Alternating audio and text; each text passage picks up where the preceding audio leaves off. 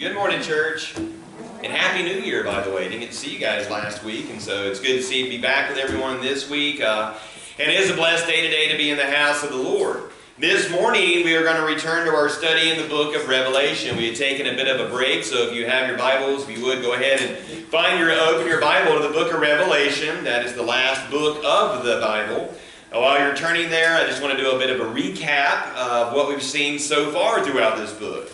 So far, the Apostle John is our writer. So the Apostle John is our writer, and he opens this book by letting us know right away that this is going to be about Jesus Christ. In other words, he says, the revelation of Jesus Christ, which God gave to show his servants things which must shortly take place.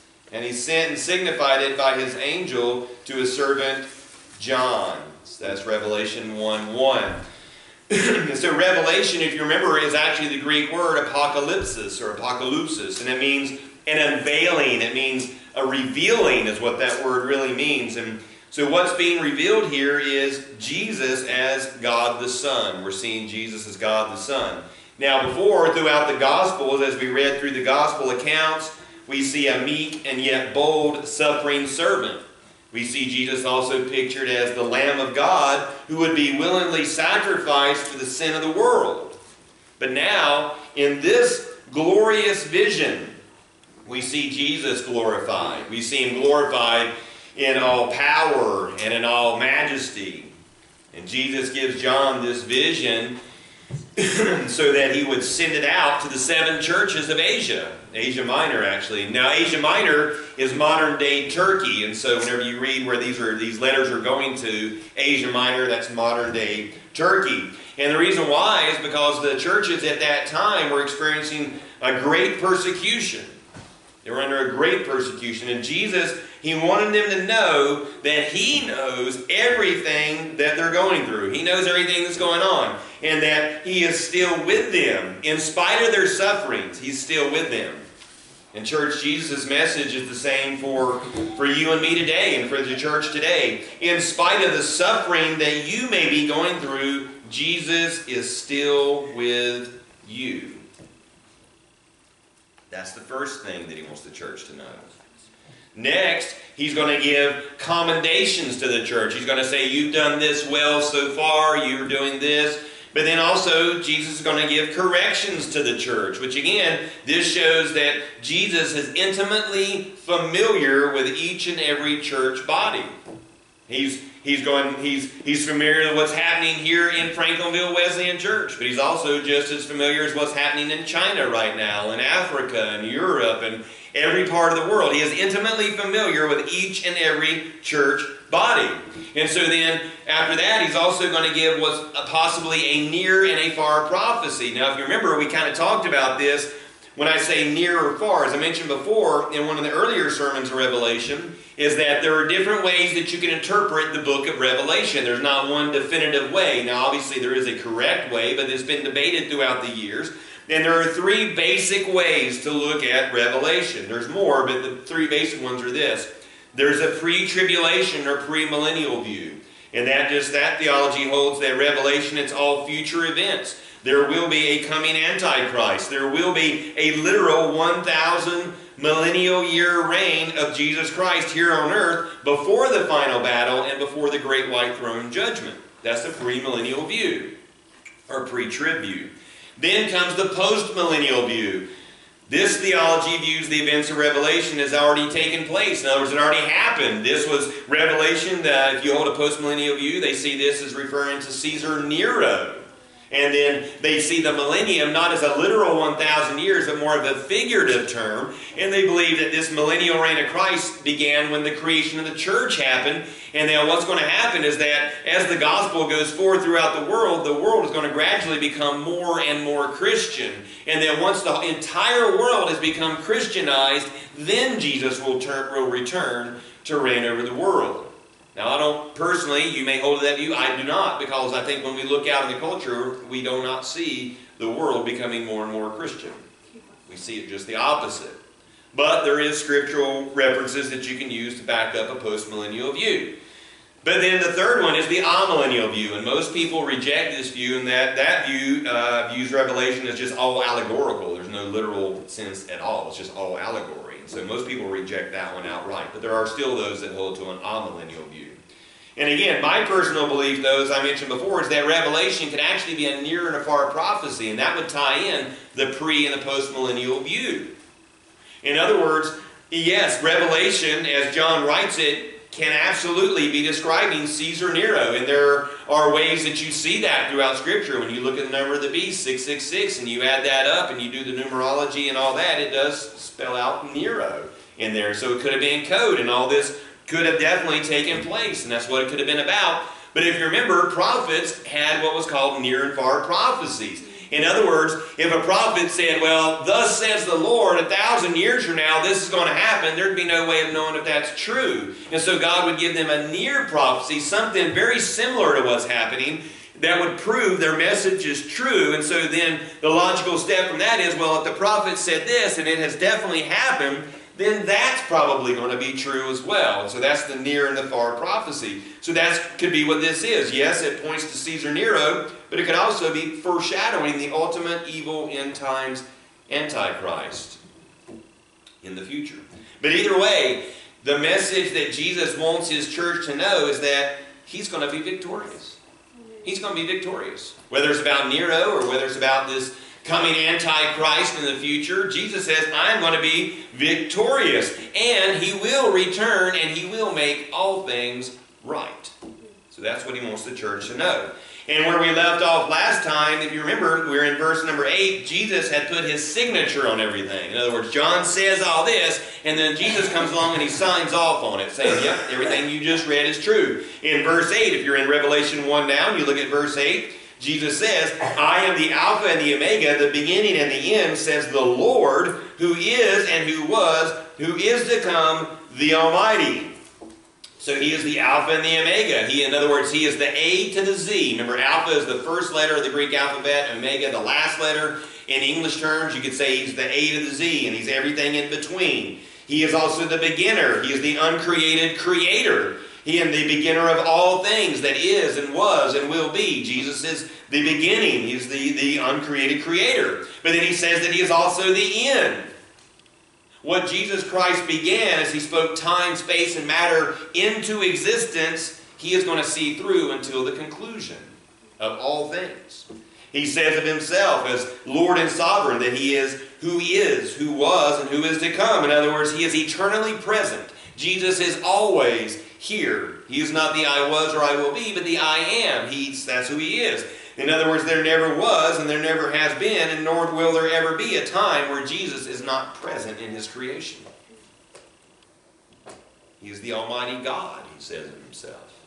He is El Shaddai, as it would have said in the Hebrew Scriptures. He is all knowing, he is all powerful, he is always present, and he is always Lord. You do not make Jesus Lord. He is always Lord already. Now, let's look to John's testimony of what happened on that day. So that's a recap of where we've gotten to so far. So let's dig right in. Revelation chapter 1, verse 9. Look what John writes. I, John, both your brother and companion in the tribulation and kingdom and patience of Jesus Christ, was on the island that is called Patmos for the Word of God and for the testimony of Jesus Christ. Now, first off, here again, John identifies himself. It's the third time in just in just um, nine verses that John has identified himself. But here, not only does he say he's John, he says, I, John. In other words, he is so amazed that he has been given this amazing vision, this spectacular revelation that he says, I, John. In other words, I can't believe it. Can you believe I got this? Me, who am I?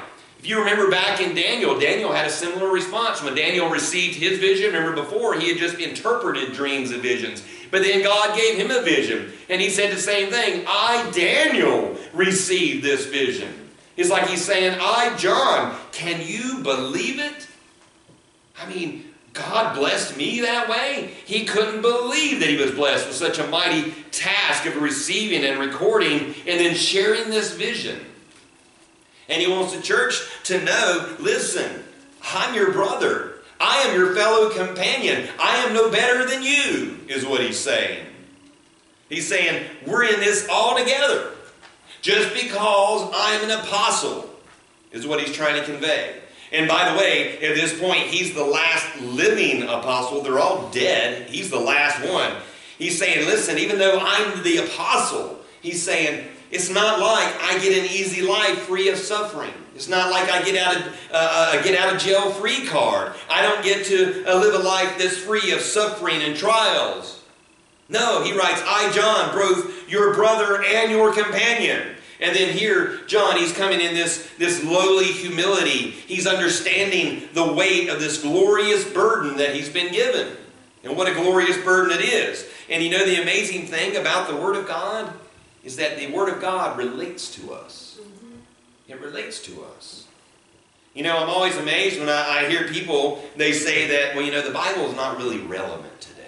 We need, what we need to do is, is we need to, to add to the Bible. Maybe we need to take some of the older things out of there because it just doesn't relate. It doesn't fit into our times. That amazes me when people say that. And church, not only is that kind of talk ridiculous and absurd, it's also blasphemous. I mean, think about it. If Jesus is who he just told us that he is, the Alpha, the Omega, the beginning, the end, who is, who was, who is to come, the Almighty, then he and his written word, they are eternally relevant.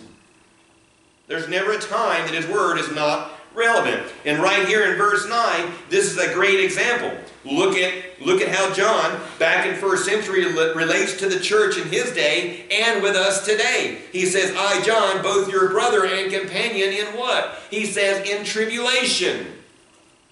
I'm your brother and companion in tribulation. And this, this is written in a present tense. In other words, he's not talking about a future tribulation or a past tribulation. He says, I am with you now, right now in tribulation. I am your brother. I am your fellow companion in trials, in persecutions, and sufferings.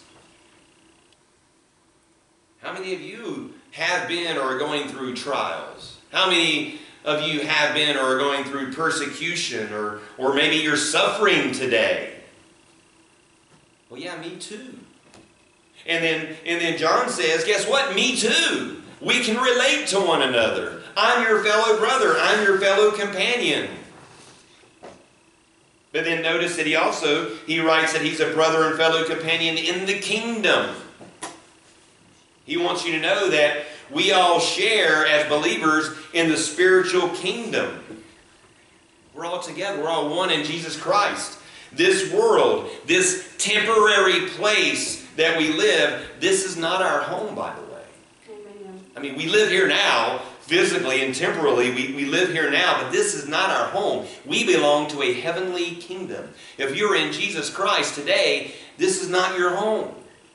Heaven is your home in God's presence is your home. Peter writes it in 1 Peter chapter 2, verses 11 to 12. Listen to what Peter writes.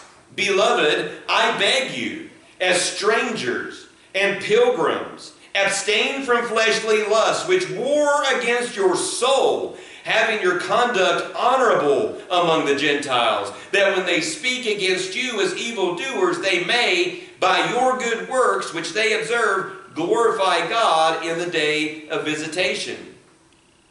Church, if you're in Christ today, we're strangers. We are pilgrims in this world. We are just passing through. You should not feel comfortable or at home in this wicked and perverse world. You should look out at the culture and the landscape and go, this disgusts me. I do not feel at home here. I do not feel that I have anything in common. I just, it is frustrating almost. Yes. Because we know this is not where we are supposed to be. And don't get me wrong, yes, this world has a lot of beauty. I love the beach, I love the mountains, I love, I love the sunrise and the sunset. There is a lot of beauty in God's creation.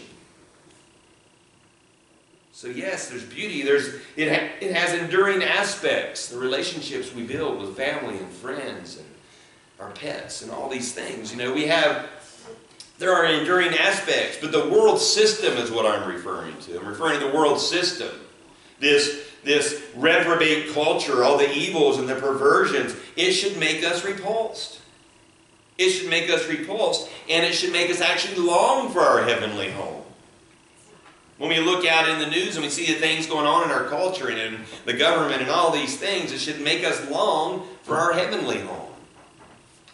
It's kind of like this if you've ever been a soldier, if you've ever been deployed overseas. And if you think about soldiers being deployed overseas, especially in a time of war, they know that they have a job to do.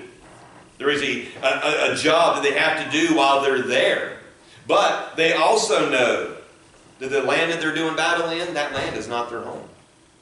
When soldiers were overseas, when they were in Vietnam, when they were in Europe, when they were in Asia, when they were in the Middle East, wherever it was, and they were doing battle and they had things they had to do, they knew this is not my home. I am over here temporarily and I am doing battle right now. And they long for the day that they could just lay down their arms and return home. And as Christians, church, we're on the battlefield right now. This world is a battlefield. It's a battle for the souls of men and women and children. There is a very real battle going on. And this world, this kingdom right now, this kingdom is not ours. We belong to a heavenly kingdom. Notice, thirdly, John writes that he's also your brother, your companion in the patience or in the perseverance of Jesus Christ. This Greek word uh, for patience, perseverance, however your Bible translates it. The Greek word, though, it speaks of endurance. It speaks of perseverance in difficult times. God's word can relate to you that way. It can relate to your patience. It can relate to your endurance and your perseverance in the faith. I mean, through good times, through bad times, through sickness and through health, through wealth and poverty, through love and through loss, even through life and death. God's Word is there for you to help you in any of these matters. And John says he's your brother and your companion. And, and God's Word, He wants you to know you're not alone. You're in good company. You are in great company. But then that begs the question, then how do you endure? How do you, how do you endure? How do you persevere through trials and sufferings and persecutions and all these things? Well, the Apostle Paul, he tells us. He tells us exactly how. Philippians chapter 4. He, listen to what Paul says. He says, Not that I speak in regard to need, for I have learned in whatever state I am to be content. I know how to be abased, and I know how to abound. Everywhere and in all things I have learned both to be full and to be hungry, both to abound and to suffer need. And then he goes on to say, I can do all things through who? Christ. Through Christ who strengthens me. Yes. Jesus is our strength. Jesus is our patience. Jesus is our endurance. So we look to Him. We don't do it in our own power our own need. Sometimes when we say, you know what, I don't need God, I don't need His Word, I don't need Jesus, I am going to just try and do things on my own. I think I can do it. I can pull up my bootstraps. I believe at times like that, God will actually remove His hand and say, if you want it, here you go. See how well you do. And when I get that way, I fail miserably.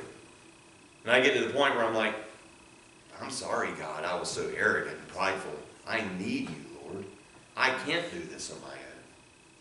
We, I think a lot of times we take for granted everything that Jesus does for us. We don't see it. We don't get it. Until those times that he kind of steps back and says, well, if you want to be in complete control, I'm going to let you have some of that control. And we find out quickly how little control we actually have. But John continues. Look at verse 9. He says that he was on the island that is called Patmos. And remember, Rome had tried to kill him. Rome was just fed up with John. They wanted to kill him. First, they literally stuck him in a big vat of boiling oil. If you ever burned your hand on oil or anything like that, you know how bad maybe you're cooking and the oil gets on your hand, you know how bad that hurts. They actually put him in a vat of that, and God protected him. And that wasn't good enough, so then what they had him do, they had him drink poison. It didn't affect him at all. And so they're like, you know what? Just get rid of him. Just get rid of this guy. And so Rome exiles John to this rocky little island in the Aegean Sea. It's between Greece and Turkey, if you know geography where that's at. This little island is only 13.18 miles in circumference. That would be the distance of traveling from Franklinville to Julian, maybe outskirts of Liberty. So it's not very far at all. It's a really tiny island. And he's there all by himself. He's all by himself. Now, for some of you, that might be like, man, great. Just get away from everybody. But he was by himself. And what was his crime? What did this man do that they tried to boil him alive, made him drink poison, and then finally cast him as an exile out in the middle of the sea on a little rocky island? He tells us, look at verse 9. He's there for the Word of God and for the testimony of Jesus Christ. Now, the Word of God, that refers to the, the preaching of the Hebrew Scriptures, because that was what they preached through. That was the Bible that Jesus and the apostles and the disciples used. It was the Old Testament, it's the only one they had at the time. The New Testament was being developed and being written. But of course, the testimony of Jesus Christ, that refers to the gospel proclamation. He was talking about the life, the death, the burial, the resurrection of Jesus, and his sovereign lordship over all of creation. Now, people in the Roman Empire, they were actually commanded to say, Caesar is Lord. They were told to say it. They were commanded to say it under penalty, penalty of death at times. But Christians refused to bow their knee in submission to Caesar, and instead they said, Caesar is not Lord, Jesus is Lord. And so John's exiled because he presented the full counsel of God. He preached the Old Testament scriptures that were pointing to the long-awaited coming King and Messiah. And then at the same time, he's, he's given the gospel testimony revealing who this Messiah and Lord is. It's Jesus Christ. And because of his unwavering testimony and allegiance to Jesus alone, he is cast out of society and abandoned on this little bitty rocky island called Patmos, which, by the way, in Greek, Patmos means my killing. So they wanted to send him there just so he would die. But now I want you to understand something. By doing this to John, Rome's goal was to crush his spirit. They wanted, to, they wanted him to die, but they also wanted him to die internally. They wanted to crush him. They wanted to physically crush him. They wanted to mentally crush him, emotionally, and even spiritually. We're going to cast you out so you're alone. You can't talk to anybody. There was no friends, no family, no church, nothing and no body, No possessions. It's just him. But now look what it says. Look what John writes in verse 10. I was in the Spirit. So was John really alone on that island? No. The Spirit of God was with him. He was in the, he was in the presence of the Holy Spirit. And if you're a Christian today, there may be times you feel alone, but you're not alone. God is right there with you. His Spirit is with you. So John was not alone. He was in the presence of the Holy Spirit. Matter of fact, he was in a time of holy communion with God himself. Have you ever been a time where maybe you were either in, you maybe you were reading through the Word of God, maybe you were in a, in a time of prayer, maybe you were in worship and you were singing, and then you just feel this overwhelming presence of the Holy Spirit. Have you ever had that experience before? Well, that's that's what was going on with John. That's where John was at. And then he says that he was, he was in the Spirit on the Lord's day. Now, when is the Lord's day? That's Sunday. It's the first day of the week, the, the day of our Lord's resurrection. It was not the Sabbath day. Sabbath day is separate. Sabbath day is the seventh day. That's Saturday. That's the day that, that God blessed as, as, as the day of rest. We talked, Jeannie talked about that in our Sunday school lesson today.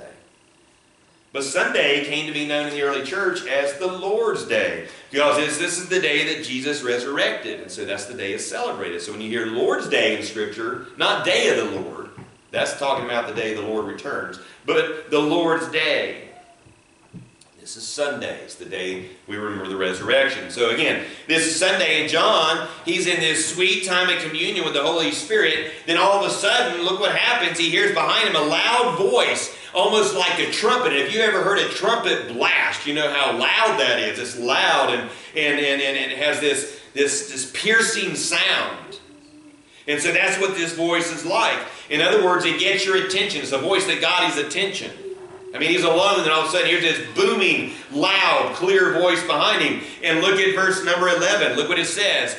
This voice says, I am the Alpha, the Omega, the first and the last. And what you see write in a book and send it to the seven churches which are in Asia, to Ephesus, to Smyrna, to Pergamos, to Thyatira, to Sardis, to Philadelphia, and to Laodicea. Now notice here that Jesus' words are they're a little bit different than they were in verse number 8. Because here he declares, I am the Alpha and the Omega, and he calls himself, I am the first and the last. Now that's important. Why is that important? Because you can actually, if you're a note taker in your Bible, beside verse number 11, jot down this note. Jot down Isaiah 44 6. Isaiah 44 6. Because what's happening here is Jesus is connecting himself to Yahweh in the Old Testament, the Lord God. In Isaiah 44, 6, listen, this is the this is Yahweh. He's speaking through the prophet Isaiah. And God speaking through the prophet says this, Thus says the Lord Yahweh, the King of Israel and his Redeemer, the Lord Yahweh of hosts. He says, I am the first and I am the last. Besides me, there is no God. And so here, Jesus says, I am the Alpha and the Omega, the first and the last. So Jesus is connecting himself to Old Testament prophecy again. So Isaiah 44 6. I mean, that's a pretty powerful claim, right? And next time somebody tries to tell you, well, Jesus never claimed to be God, well, not only show them Revelation 1 11, but then also take them back to Isaiah 44 6 and connect that for them. But then Jesus, he commanded John to write in a book, more accurately, to write in a scroll all that he will see. And then he says, send the message to seven very specific churches. These are in Asia Minor. Again, it's modern day Turkey. But why these seven churches? Why these particular ones? I mean, there were, there were a lot more churches in Asia Minor. But they were, they were very specific. Why these seven? I want to give you a historical context as to why, but then I'm also going to probably, I'll, I'll briefly mention another reason why these specific churches. Number one, Here's the historical context. Why these particular churches? Why these seven? It's because these seven were seven postal districts in the Asia Minor. There were seven postal districts. This would have made it easier and more efficient to disseminate the message. In other words, to get the message out. Historians also note that if you'll study a map of Asia Minor, that area in that day, the order of the cities that Jesus gives, notice he gives a specific order. This is the exact route that a messenger would take if he was going to visit that area. So what would happen is a messenger, he would make that first stop in Ephesus because Ephesus was a seaport town. So he would come into Ephesus by the seaport. The church at Ephesus then, they would painstakingly copy word for word everything that John had written. So you would have a scribe in this church, and it would be their duty to write down everything that John would write. Once it was completed, then the messenger would roll up the scroll that John had written, and he would carry it on. He'd roll up, he'd, off, he'd head off to the next postal district, to Smyrna. And then that, they would repeat that same process until he had completed this entire circuit and made his way back. And of course, there were many, again, many other churches in the area of those districts. And so from this main postal area, they would go out to the district churches in their area to, to share in the letter. And again, those churches, they would receive the scrolls, all the churches in the surrounding areas, they would receive the scrolls, they would copy them, and then on and on it goes. And that is why today we have over 5,700 plus Greek copies of the New Testament scriptures. That's why, because that's what they would do. And we also have copies in Latin, by the way. We have copies in Coptic and Sahidic and other translations, which actually gives us over 20,000 handwritten copies of the New Testament. 20,000 copies. So that's the first reason, the historical context as to why these seven specific churches, they were postal districts. Number two, I believe that each of the seven churches represent a type of church from John's time until now. In other words, when we read through the letters to the churches, there were faithful churches. But there were also churches that were not faithful. There were unfaithful churches. And Jesus, again, he has commendations and he has warnings to pronounce to, to each of these different types of churches. And each one should give us a pause as we read through this in chapter 2 and 3. We should take a pause as we read his description of each to see where we fall as the church today. And then what lessons we need, what, what warning that we need to heed. But then John continues. Look at verse number 12. John writes, And then I turned to see the voice that spoke with me, and having turned, I saw seven golden lampstands. And in the midst of the seven lampstands, there was one like the Son of Man, clothed with a garment down to the feet, girded about the chest with a gold band. His head and his hair were white like wool, as white as snow, and his eyes like a flame of fire. His feet were like fine brass, as if refined in a furnace, and his voice as the sound of many waters. And he had in his right hand seven stars. Out of his mouth went a sharp two edged sword, and his countenance was like the sun shining in his strength. What a glorious and a frightening and awe inspiring vision. What an amazing vision. John's to see John, he turns to see a vision of the spiritual realm. That's what he turns to see. One moment he's standing on the seashore, prayer and communion, he hears a voice, and he turns around and his eyes are open and he can see into that invisible realm. The curtain is drawn back, in other words. And and John sees this glorified Jesus standing in the, in the midst of his church. That's what this vision of is Jesus standing in the midst of his church. And then what's the proper response to seeing Jesus, by the way, this way? Look at verse 17. When I saw him, I fell at his feet as dead. You know, when I'm out in the streets evangelizing and, and, and witnessing to people, I have to, I have to kind of laugh in a way because there are people that say that, you know what, when I stand by, I've had people tell me this, when I, when I die or Jesus comes back, he's going to have a lot of explaining to do to me. And I'm going to stand up there and I'm going to point my finger at him. I'm going to demand that he give me an answer. People tell me that. And I have to laugh. I mean, what arrogance to say something like that. What, what foolishness. This is John we're reading of. This is Jesus' earthly friend. He's the one who, at the Last Supper, actually laid his head back on Jesus' chest. I mean, they were dear, dear friends. And when John, this dear friend, sees Jesus in all of his glory, he fell down as a dead man because he was so afraid of what he was seeing. And then sinful, rebellious human beings think they're going to wag their finger and scold Jesus. That's foolishness. That is the epitome of foolishness. You know what they will really be? They will really be a cowering puddle of fear and tears. That's what they will be. But how do we know that this is actually Jesus who's speaking here? How does he know? Well, look at verses 17 and 18. When I saw him, I fell at his feet as dead, but he laid his right hand on me, saying to me, Do not be afraid. I am the first and the last. We read that already, right?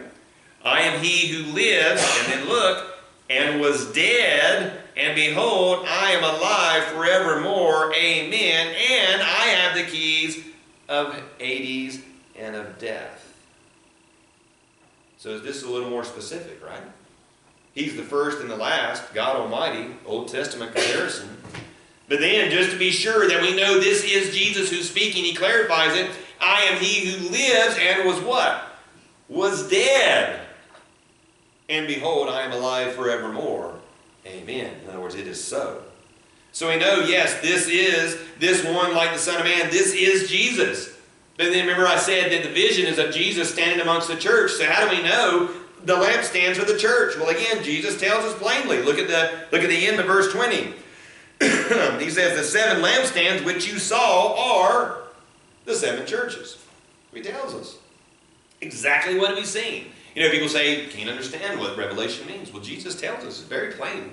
It's very plain. Now, there's a lot more here. There's a lot, lot more here. So what we're going to have to do is stop for today here. And next week, Lord willing, we're going to close out chapter 1. But we're given so much description of Jesus. And everything, by the way, did you know everything in your Bible means something? It's not just there to be there for no reason. There's actually very important meaning behind things. So I want to close out our time together today by just kind of tying everything together. Everything that we talked about today, everything we've seen today in the scriptures. I want you to think on this. If Jesus is truly standing in the midst of his church from John's time until now, what does that mean? That means that he's here right now. Jesus is standing right here, right now. We can't physically see him, The veil's not been pulled back like it was for John. But he's here. And not only is he here in our midst today, but he sees each and every one of us. He sees each and every one of you. He sees me. He's in our midst today. He's intimately familiar with not only his church here in Franklinville, communally, but he's also standing alongside you individually as his church. Whether you're here today, you're at home, you're in your car, you're by yourself, you're not by yourself. He is there with you. He stands beside you. He sees you, He knows you, and guess what? If you're in Christ today, He loves you and He cares for you. You are not alone. That's what we get from this when we see Jesus standing in the midst of the lampstands. The lampstands is the church. You are the church. He is standing here. Saints of old, by the way, they can relate to your present tribulations, the things you're going through today. Saints of old, they can relate to you, to your present sufferings, to your joy, to your celebration. Saints of old can relate. They went through everything you're going through. But then also the Word of God can relate to you and to your life. And the Word of God can give you wisdom. You know, we read our, our proverb as our devotional for today. And you should read a proverb every day because Proverbs was written and designed to teach you how to deal with your fellow human beings. Because it's not always easy to do that. If you have any, any experience dealing with human beings, you know it's not easy. And so we read the Proverbs. But then also, we have the book of Psalms we read, which give praise and glory to God and extol Him. So God's Word can give you wisdom and guidance, and it can give you hope. And Jesus Himself, He can relate to you. Did you know that? God, what do you know about my suffering? What do you know about things that I'm going through? You're God. How can you possibly know? How can you relate to my life here in Franklinville or Archdale or Asheboro or wherever you're living? The book of Hebrews, the writer, he writes this. He says in, in Hebrews 4, We do not have a high priest who cannot sympathize with our weaknesses, but was in all points tempted as we are, and yet without sin. Let us, therefore, come boldly to the throne of grace, that we may obtain mercy and find grace to help him, or to help in time of need. Church, if God is for you, not against you, if you're in Christ. If you're in Christ today and you're born again, Christ is not against you. He is for you. And another thing we learn from this scripture portion today is that God, He wants to speak to you. Did you know that? Why do you think He told John, write this down? John, this isn't just for you. I want you to send this to the churches. And then 2,000 years ago, in this little town in North Carolina, there are going to be Christians that need hope. And I want them to understand this too, that I am in their midst and I am with them. And I want to talk to you. God wants to speak. Jesus tells John, write, it, write down what you see so the church will know. God speaks to us today through His written word. He is not going to speak audibly to you today. He speaks to us through His written word, and He wants to speak to you. All you have to do is open this book and read and so that you will know him and his will, because he wants you to know him and his will. Christ loves his church. Christ died for his church. So if you ever think church is not important, Jesus died for his church. It is of critical importance. Therefore, take heart, fellow brother and fellow sister, fellow companion in Christ. That's what we are. We are together in this. And I want you to take these three words to your heart and lock them in. Jesus loves you. Let's pray. Lord, we thank you, first off, that you loved us so much that you died for us. We thank you, Lord Jesus, that because our sin was so great that it took your life and your death that we may be forgiven. It took the death of God's own Son that we could be forgiven and be made right with the Father. And so, Lord, today we praise your holy name, Lord Jesus. We thank you for your written word, that that is how you speak to us today, that you've not left us as orphans to not know. But you have given us your word so that we will know. So that we can come into fellowship with you and that we can come together united in this one faith together as brothers and sisters and fellow companions. And Lord God, if there's anyone today that does not know you as Lord and Savior, and you do not know them as one of your children, because your word says you're either a child of God or a child of wrath, there is no in between. Convict them in their spirit today, Lord, that they come to you in true repentance and faith and cry out to you, because you said if anyone who comes to you, you will in no ways turn them away. But you will welcome them and you will forgive them and redeem them and make them a new creation. Give them a new mind and a new heart and new desires. And so, Lord, we pray that today. Whether it's anyone here today or watching later on video on YouTube, either way. You are Lord of all. And so we thank you and we praise you. And it's in your great name we pray.